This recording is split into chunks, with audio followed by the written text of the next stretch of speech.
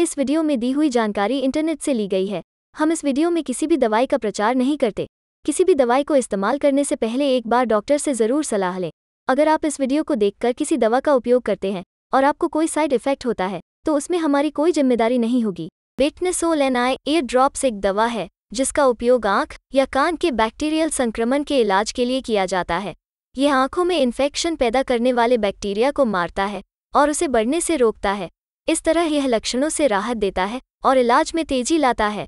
Betnesol N eye ear drops का उपयोग केवल प्रभावित आँख या कान में किया जाता है। दवा का उपयोग करने से पहले निर्देश के लिए लेबल को ध्यान से पढ़ें।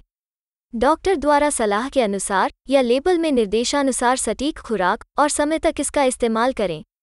बहुत अधिक या बहुत कम मात्रा का उपयोग न करें। इस दवा का इस्तेमाल करने से पहले अपने हाथों को धोएँ। बेहतर महसूस होने पर भी अपनी खुराक पूरी करें। दवा को बहुत जल्दी रोकना संक्रमण को वापस ला सकता है। इस दवा के इस्तेमाल से जलन, खुजली और लालीपन हो सकता है। ये आमतौर पर अस्थायी होते हैं और समय के साथ ठीक हो जाते हैं। हालाँकि, अगर वे बने रहते हैं या और बढ़ जाते हैं तो अपने डॉक्टर को सूचित करें। गलती से आपकी नाक या मुँह के संपर्क में आने पर इसे तुरंत पानी से धो लें।